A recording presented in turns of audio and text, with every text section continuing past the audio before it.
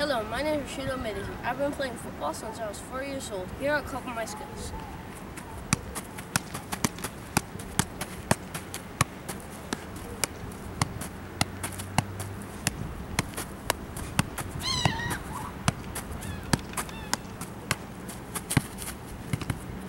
As you can see, I love football, and you can enjoy it too.